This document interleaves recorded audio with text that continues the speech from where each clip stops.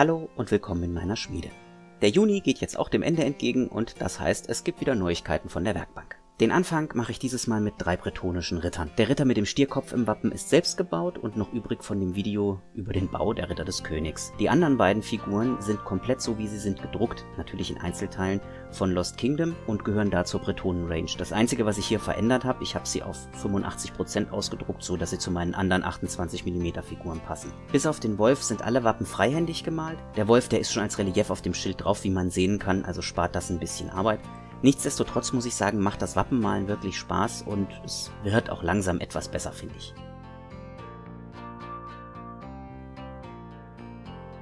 Weiter geht es, wie könnte es anderes sein, mit einem Ork. Das Modell habe ich auch vergrößert ausgedruckt, jedenfalls den Wolf.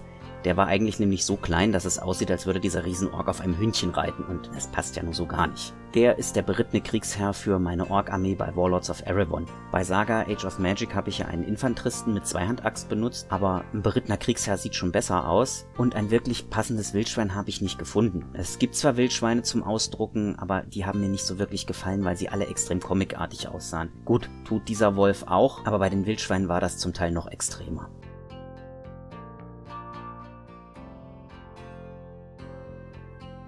Mit Orks geht's dann auch weiter, und zwar mit den Bogenschützen hier. Drei davon sind die ganz normalen Standard-Herr der Ringe-Ork-Bogenschützen, die es eigentlich zuhauf zu kaufen gibt. Die anderen beiden gehören zu den Modellen, die ich für den Marsch auf die Blauen Berge umgebaut habe. Ein bisschen schade ist, dass die Standard-Ork-Bogenschützen alle gleich aussehen. Da wäre ein bisschen mehr Variation sicherlich möglich gewesen, und wenn Herr der Ringe heute nochmal aufgelegt werden würde, dann würden die Figuren wahrscheinlich auch ganz anders aussehen und die Vielfalt an Posen wäre da auch gegeben. Vielleicht haben wir ja auch alle nochmal Glück und die alten Modelle werden nochmal überarbeitet werden.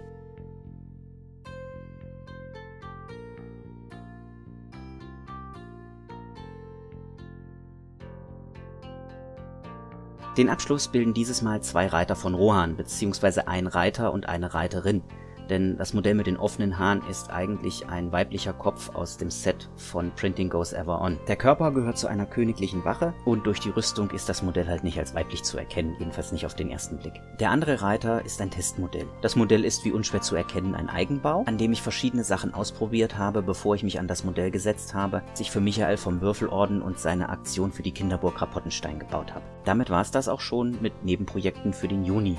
Ein bisschen was steht noch auf der Werkbank, ist aber noch nicht fertig. Da könnt ihr euch schon mal auf den Juli freuen. Wie immer hoffe ich natürlich, dass euch das Video gefallen hat. Lasst mir einen Like oder Kommentar da, teilt das Video oder läutet die Glocke. Eben alles, was ihr so von YouTube kennt und bis bald in meiner Schmiede.